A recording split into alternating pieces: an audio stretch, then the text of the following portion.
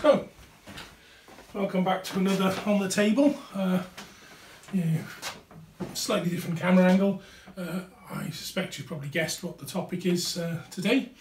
It's the uh, ZX81 whose 40th birthday was yesterday, March the 5th, 2021. Uh, but in our family, uh, my son has a, a, birthday on the same day, so that took priority. So the video's today. And in real terms, I've been I've been reading through my diary uh, this is the last diary I ever kept in 1981, and we'll find out why as part of the story develops. And um, I was very early on decided I was going to get a, a ZX80 after attending Mr. Arnold's uh, club on February the 20th. I decided I was going to get a ZX80 kit, having seen the glossy adverts and actually played with one. And, you know, they just the, the electronics and computer magazines were full of that sort of thing. So um, so in real terms, the 40th birthday for me is actually a little bit later because uh, I didn't actually become aware of the presence of a, a ZX80 uh, one as a, as a product uh, until quite a bit later in the month, I think. So uh, I think my dad probably saw uh, one, so we're looking at March the 19th really. Today I definitely decided to buy one of the new ZX81s. As soon as I got in this evening, I did my homework. I must have been uh, really enthusiastic to get one. Uh, here we go. Uh, so what have we got here then? uh, laid out is my original ZX81, uh, which I built from a kit, and there's a bit of a story behind that, which we'll go into. Um, I moved on to a much larger uh, cased uh, version with a better keyboard, although I built a keyboard for that in the meantime. Uh, hopefully, which you'll be seeing a photograph of with um, my second project, the uh, I really got into the ZX81. I mean, you know, the reason there's no diary entry is it's just empty after a certain period of time is pretty much after I got the computer working. So uh, that was the end of that. But uh, I did do um, an O-level electronics project as well with it, which is the ZX81 music box. So hopefully that'll be the topic of a, a video by itself. So uh, I managed to find the, uh, the um, booklet on its construction and in fact the original uh, project proposal as well from the is it from the uh, AEB's examining board for my O level. So uh, and obviously then the, the second project I did which was my technology uh, O level is a, a chart recorder, mains powered. I mean probably wouldn't get away with off the safety these days. But um, again I've managed to find the uh, the project notes and the engineering diagrams that were done uh, on how it was uh, all constructed and all the research notes um, about how one would be put together. And uh, hopefully it's got the listings in it and some, you know, pretty well uh, details of those going. And they were all inspired by uh, Personal Computer World, which uh, ran this uh, article called um, Control Your Own Substation with the ZX81, which talked about the Techno Technomatic uh, I.O. port that you could hook things up to, which is what that's designed for. Now I can't find my Technomatic I.O. board, but um, I do have um, a later one, which is the Maplin uh, one, which has got a little mini expansion bus on it as well. So uh, again, we'll be looking at that. Um, I've also got a um, uh, original uh, RAM pack, obviously, and a printer, both of which are in need of repair. It's fairly common, the printers, the uh, band goes on them and the RAM packs are notoriously for um, because they've got some uh, voltage rails on them, a bit like the Spectrum uh, they do tend to blow the RAM chips. And I unfortunately discovered, uh, preparing for this video, that my Memopak 16K, which uh, fits on the back nicely, as Rick Dickinson probably originally designed the RAM pack, has got a fault. So I've started a little bit of work to uh, uh, remove its connectors and, and, have a little good look at it because the connector had actually smashed and broken so I suspect it was probably not aligning properly so we probably have the same similar problem with the RAMs on that so we'll explore fixing that all give, else given up, I'll probably put a, an internal 16k memory on the on the this one, which is uh, the second board I owned. Um, I got a few photos from the restoration of the very original kit I built, um, which uh, was uh, it came, arrived, um, didn't work. Managed to get a video display, which should have indicated the ULA was running, but I wouldn't have known that at the time. And after consultation with uh, Sinclair's helpline, they uh, was a bit too hot to touch. They said, "Oh, that's working okay then." So um, we need to send it back to us to have a look, and it did take quite a lot of weeks with phone calls documented in the diary to to try and get it back. And all I was left with was my my manual that I'd had with it to go over and pour with every little note on it. And as you can see, it's uh, it's uh, starting to, to fall apart, but it's still here and it's full of my little notes uh, where I really took everything I could about that machine. Um, came back eventually with apparently a faulty Z80, uh, which wasn't my fault, so I didn't charge us the repair, but it, it does mean I think it was, uh, it was quite a few months where I still kept a diary, but uh, I think it was uh, quite a bit. Um, yeah, I've started work on a hex keypad, so we're into May here now. So uh, it sounds like um, oh, there we go, June the fifth. I'm writing this on Sunday as I've been rather engrossed in my computer, which arrived while I was in school. I had to repair a broken resistor and a snap lead on the modulator before it worked. But as it was a faulty CPU, they didn't charge me. As they even sent it back with a break and a problem on it. And the next one is this morning I was totally engrossed in my computer. I managed to get a moving missile base. And we developed, Mike came up and we developed a simple game. Um, uh, and he didn't leave until nine o'clock, grief. So uh, there's quite a lot of activity then from June onwards and there's late entries and then they get very very short and then there's a couple of days of half-hearted attempts and then absolutely nothing in the diary for a long time until December the 6th and tut tut I haven't written a diary entry for months but it would have been mostly about my computer. Yes I'm still nuts on it. The news is I managed to get a computer club going.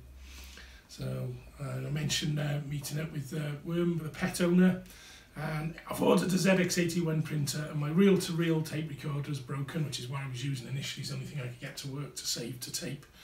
Um, so I'm ordering a special tape recorder for my ZX81. And I've started an electronics course with Mr. Chukas at the college, so that would have been the one that gave the, the O-level electronics eventually. So and that's it, that's the last time I ever kept a diary, so uh, that'll be the end of that. Anyway, we shall uh, explore some of this now as the, the video goes on and future videos as I I get all this equipment working again. Obviously we've got a few other things on the uh, the desk here which is a, is a little uh, 3k RAM pack with the stacked up chips and the chip selects off which uh, I think does actually work so uh, we'll, we'll get that going again uh, perhaps and, uh, and show it working. Um, typical uh, sort of construction from back in the day with the two bits of Vero board either side so it'll be interesting to look at with more detail. Um, I've also got another one of these um, uh, I.O. cards from Maplin, the ZX81 input output port ready to build. I just need the PIO chip, so I'll be an interesting little kit to build up. We have twin I.O. ports on it if I add a new expansion connector on the end. So uh, a little bit of procurement and work to do there, but uh, we'll get it all going again, I'm sure. Um, this ZX81, the boxed one, was a, a, a modern purchase. It's priced at 19.95. Um, I, I don't know what I paid for it, but it's uh, basically a fully boxed ZX81, uh, just because I never actually had a boxed one. I think uh, both of these were in plain brown, brown envelopes. Um, obviously the DK-Tronics keyboard. And we got a couple of the cassettes from it, the Sinclair Tape 1, um, which we'll perhaps have a little play next and uh, load some games. Um, screen kit, uh, we've got Bug-Bytes ZXDB um, disassembler um, and monitor and a ZXAS from Bug-Byte Assembler which I eventually bought. Um, I should point out that was a much later later purchase. Um, I initially learned all my Z80 from, um, I mean some of you probably know about this, but the, the character set in the back of the manual uh, actually contains the Z80 instructions and I've written in some of the ones that are missing as well. Um, and I, I really learned it all. I did eventually invest in a, a copy of uh, Rodnay Zaks's program in the Z80, uh, which is probably not doing even as well as the, the manual, but uh, it's been a treasured possession since 1981, uh, so uh, I uh, pretty much it's been the Bible for programming. And uh, also, obviously, the lovely Understanding Your uh, ZX81 ROM from Dr. Ian Logan. So, uh, um, obviously, the manual from the, uh, the printer. So, it's quite a little uh, haul and collection of interesting items to go through. Um, one other thing that, that might be worth people being aware of is uh, obviously because this was a early ULA, um, they don't generate what's known as the back porch uh, signal. So basically, the TV will struggle to, to work with it. An old TV like this Sony, which is contemporary, would work fine. It didn't really worry about the back porch signal set in the white. You've got a little control on the side which has to do it. Um, this now has a modern ULA replacement in it because unfortunately the regulator was faulty and it uh, we I fitted one of these little uh, ZX uh, uh, 8 CCBs. They are brilliant um, as a composite out device. Um, there's one in this as well, which is ideal because uh, this is another early ULA one but not as early as that was. Um, and unfortunately, after this was fitted, it ran for a short time, but because of the over voltage on the uh, the, the modulator of the regulator, which I didn't notice, um, it uh, actually unfortunately burnt the ULA out. So it's got a modern ULA in it, and it's got a new keyboard as well because the keyboard tails had failed. Um, in fact, it's uh, actually a newer case. It's the case off of this one. The original case from my original board has a lot of holes hacked in it, which you can see in the photograph of the chart recorder, um, which this is the software for uh, carefully recorded on cassette. Um, it, I built my own Maplin based um, expansion keyboard uh, for that. So um, I tacked a few holes in the case and a reset switch on the top corner. So it's a sort of, it's a combination, but I've still got the original case as well. So um, I think that about covers it. Um, the TV's actually stood on one of those lovely um, chopping boards you can buy, glass ones with a, what is I think an American uh, ZX81 motherboard. So uh, quite appropriate. And a cassette full of some of the software I wrote back in the day. Um, didn't really buy a lot of software um, uh, apart from the ones for tools, but I did write quite a bit. And uh, one we actually did was a microprocessor simulator, which uh, might be interesting to look at, which uh, I did use in some educational context as well. So quite a few interesting little projects to try, I think. Um, but I think the obvious thing is we're going to put the camera somewhere nice and uh, let's take a look at the uh, actually loading a game on the ZX81, shall we?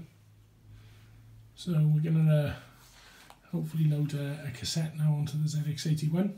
Um, I'm not using the original uh, uh, lead because this set doesn't actually have a UHF input, it has some screw terminals, so I've got a lead permanently made up for using it with older machines. Uh, you can see the power supply unit, which is lovely, it's branded with Sinclair as well. Um, one thing I did actually note as well is a, a, bit of software I wrote before I even managed to buy those with the ZXBG, a hex monitor, all typed up neatly on my bit of card. So uh, here we go with my typewriter before I had a printer. So let's uh, get it going, warm the Sony up. Okay, and hopefully we should get a signal when we plug the ZX81 in.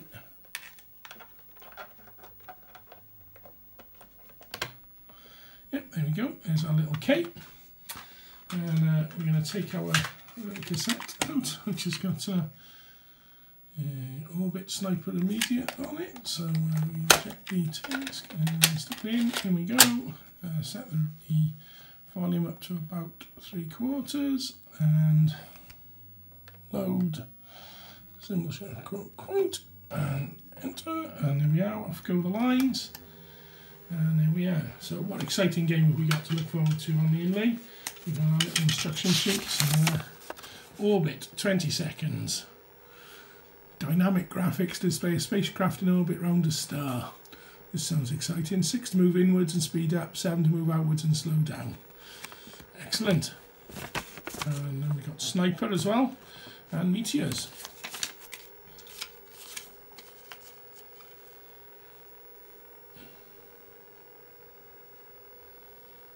Nothing as yet playing. Okay, freeze frame. Well, edit in fact. Uh, I did my best to try and edit out some of the, the bits that are going to come up, but uh, uh, this is the ZX81. Um, tape loading, it worked fine in pre production and everything. Never worked with children or old computers. Still, um, quite a few people have commented they like to see the failures on the videos, so uh, and I know a lot of you do find that interesting. So, in the tradition of good quality filming, I've moved those to the end as an almost an outtake. Um, so we're just going to jump over all the troubles and we're going to get as far as actually loading a program. So we finally get to the third program on the tape uh, and we're going to have a little game of meteors. So let's see what it goes to. Let's try the last one, meteors then. This tape may need a little bit of time on the radiator to give it a bit of a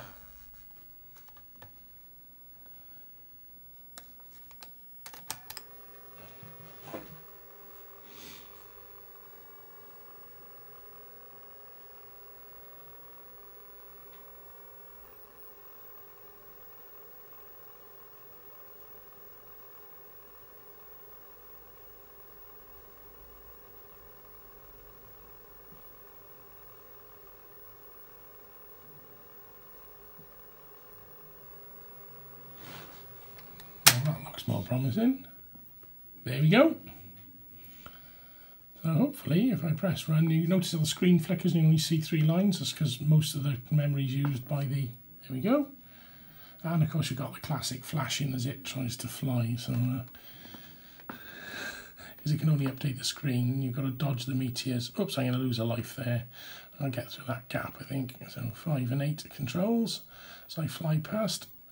So this was quality gaming. Shame we missed Sniper. I'm doing okay as well, three.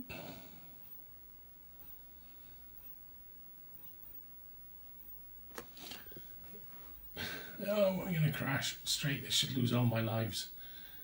Yeah, and I'm gone. And of course, we're back to 53 light years, whatever that means. So there we go. The ZX81 tape loading experience recreated from 40 years ago with uh, a, a lovely WH Smith's cassette deck. Excellent.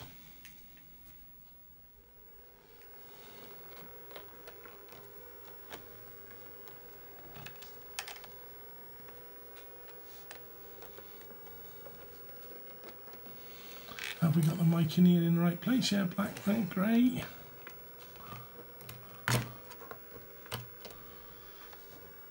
Yeah, yeah. So, mm -hmm. This was great fun back in the day, just like the ZX81. So, let's give it another go, a little bit of higher volume.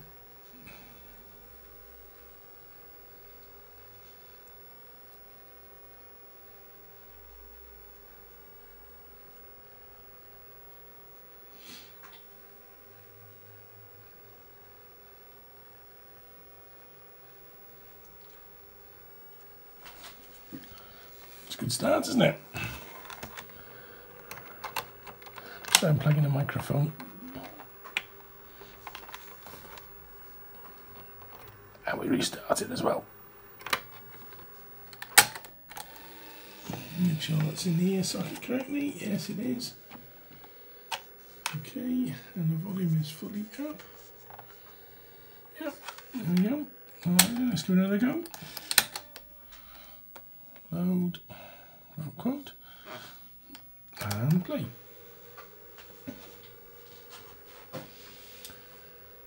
I mean, the old girl is 40 years old, so what do we expect?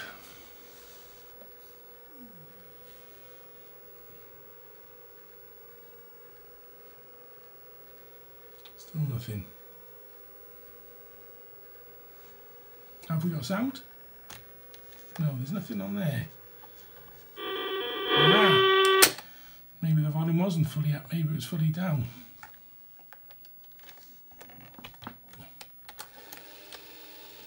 That would be silly of me, wouldn't it?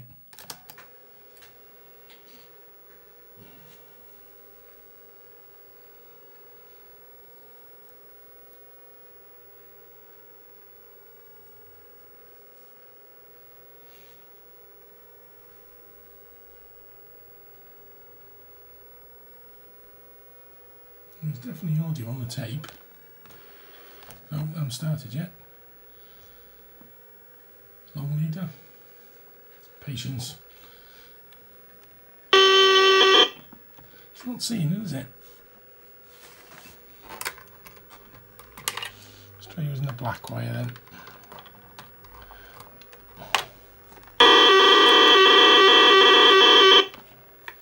Well, not promising.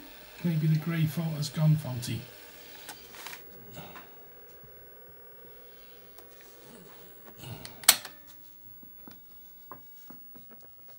You probably won't see half of this on the video.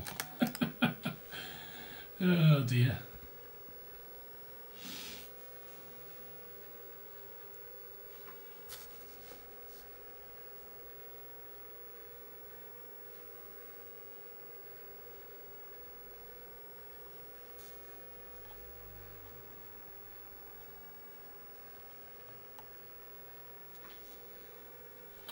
Still nothing. Hasn't actually started yet. Patience. There we go. Excellent. Well, that's what a ZX81 should look like loading.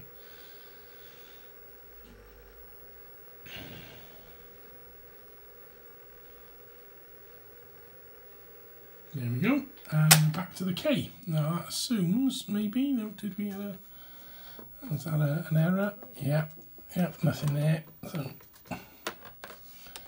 okay, we have to have another little go.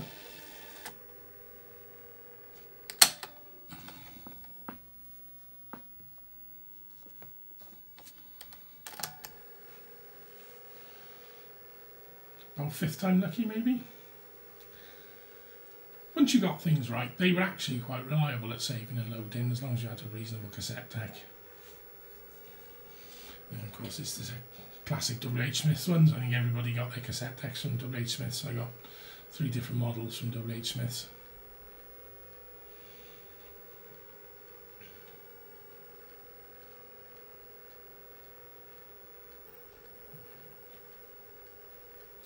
Looking for the zero OK, we really are which is a successful load on the ZX81.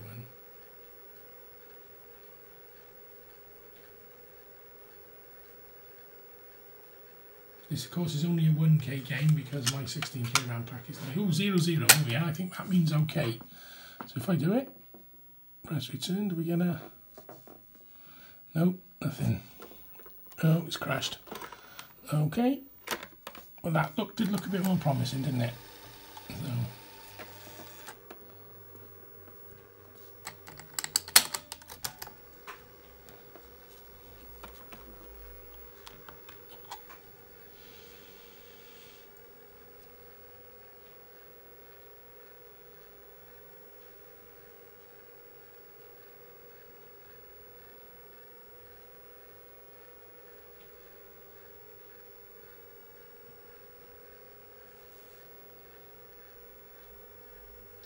because there's no sound at all.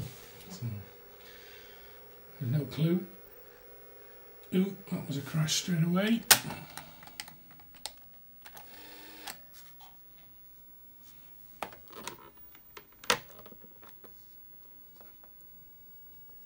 Let's try backing the volume down a little bit. This does work. Uh, when I originally restored it, I did try this. So. It's just a matter of finding the sweet spot. Could be the noise as well because the cassette deck's quite close to the ZX81 and the TV. You might have to move them a little bit apart. Well, it does seem to indicate an okay.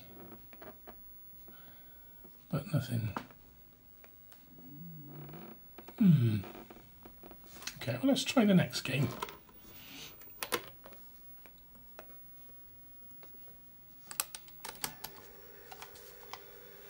It's a decent iPad.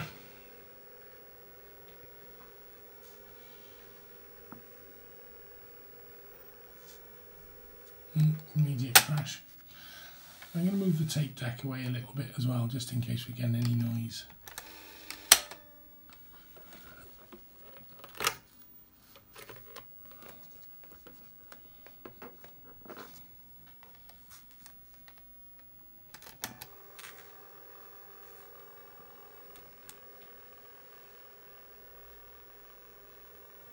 maybe route the uh, leads away from the mains a little bit and the speaker.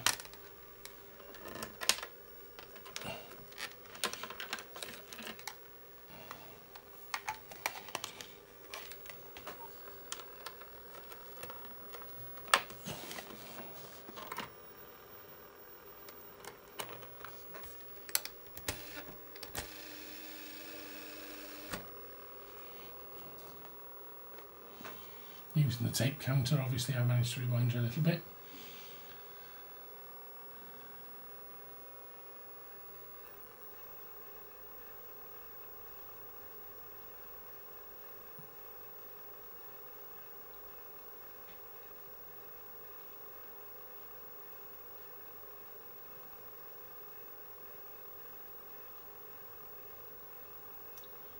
always nerve wracking waiting for a machine to load. That doesn't look very promising. We didn't end up with the OK.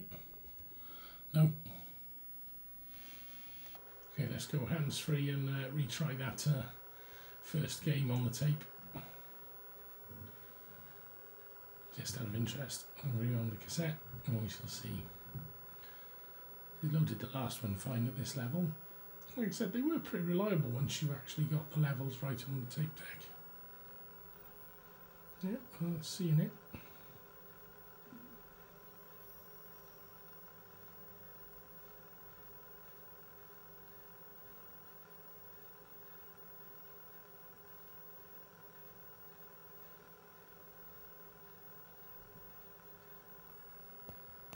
Yeah, no, it didn't work. So there we go. It was worth a try, wasn't it? While we're here, we can uh, take a little bit closer look at the uh, chart recorder. So uh, paper feed button and the hookup uh, all built. So uh, the relay, which has uh, got the mains on it. At least I used some tape to save myself from getting electrocuted. And the control for the 9 volt battery, which uh, I have no idea what that probably powers some part of it. I probably didn't build a power unit for it. Could have done it from the mains, I suppose. Maybe we do that when we do it. But it's all built from a Meccano with an old stepper motor that's been saved. Looking a bit rusty. Still got some paper on it. Um, it seems the pen arm is missing, so uh, we might need to dig the Meccano box out and look at the original diagrams to reconstruct the pen arm. Uh, so the paper feed's there, but we've got no uh, no structure for the uh, the pen assembly. So that'll be a bit more of a project to do for a separate video, I think, but uh, worth looking at.